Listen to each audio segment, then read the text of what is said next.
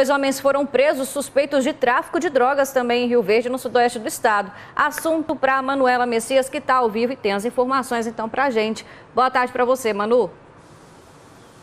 Boa tarde para você também, Gabriela, e para todo mundo que acompanha a gente. Esses dois homens foram presos, então, pelo Grupo Especial de Repressão a Narcóticos aqui de Rio Verde. Eles foram presos por tráfico de drogas, já que na casa onde um deles estava, tinha ali 60 tabletes de maconha e skunk.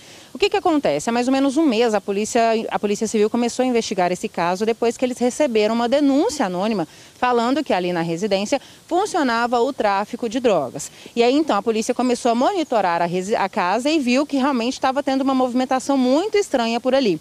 Quando a polícia entrou nessa casa, eles localizaram então toda essa droga escondida embaixo da cama. Então um homem acabou sendo preso lá dentro da residência. O outro foi preso em uma indústria de grãos aqui mesmo na cidade onde ele, tá, onde ele trabalhava. Na revista pessoal ali, a polícia inclusive encontrou com ele uma porção de maconha, viu? Todos eles, os dois homens, né, foram levados então para a delegacia aqui de Rio Verde e já foram encaminhados para a casa de prisão provisória. Somando todos esses 60 tabletes aí de maconha e skunk, gente, dá quase 50 quilos de droga, viu, Gabriela? Muita droga, né, Manu? Muito obrigada, viu, pelas informações.